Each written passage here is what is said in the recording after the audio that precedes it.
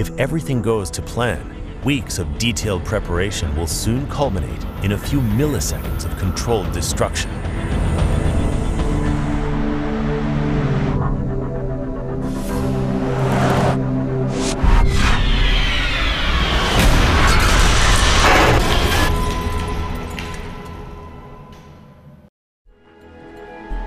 Each car was traveling at just 34.7 miles per hour, only a little bit over the speed limit for a built-up area.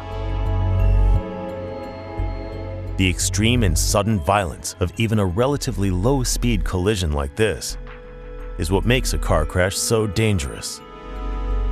The crash is over within a couple of hundred milliseconds. That's less than you can blink. And all this energy, which is uh, transported in all the this heavy vehicle, all that energy adds up into this small distance where it dissipates. Scientists now break down car crashes into three stages. After this initial impact, there are still two more impacts to come. For the occupants, things are about to get a whole lot worse.